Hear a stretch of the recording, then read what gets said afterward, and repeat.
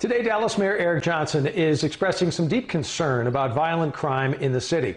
DPD records show that murders and aggravated assaults jumped last month from a year earlier, and violent crime overall is about even from last year. It's a record year, in fact, for the decade. Jack Fink spoke today with the mayor exclusively. It's not good, Jack. Dallas Mayor Eric Johnson says seven months into the year, he doesn't see violent crime moving in the right direction. Dallas PD records show homicides shot up by 108% last month from a year earlier. And year to year, the number of homicides is down slightly from the year before by nearly 2.5%. Aggravated assaults, non family violence, jumped by 25% last month from a year ago. Year to date, they've jumped by 30% from the same period last year a 30% year over year increase in aggravated assault is unacceptable, Jack.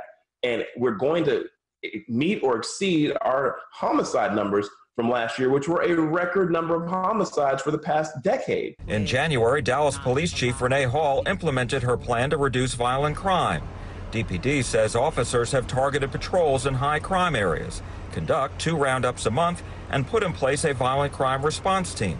But Major Terrence Rhodes says in half the murder cases in July, the victim knew the suspect. And he says people are stressed from the pandemic.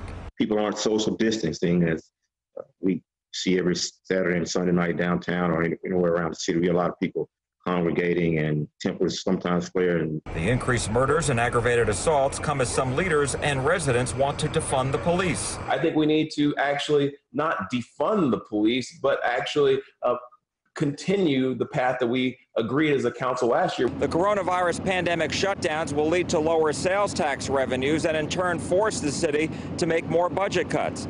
The city manager is set to release his proposed budget to the mayor, council members, and the public later this week.